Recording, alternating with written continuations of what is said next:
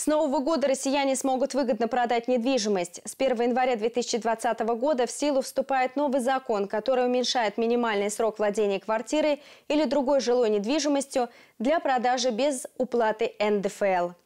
Теперь владельцы, физические лица смогут продавать свои квартиры, не переплачивая 13% налога уже через три года владения жильем, вместо пяти лет, как это действует сейчас. Экономия выйдет существенная, к примеру, при продаже квартиры стоимостью 2 миллиона рублей раньше пятилетнего срока, сейчас собственник должен заплатить 260 тысяч рублей. За трехмиллионную квартиру уже 390 тысяч рублей. Эксперты считают, что нововведение оценят молодые семьи после рождения ребенка, сталкивающиеся с необходимостью расширения жилплощади.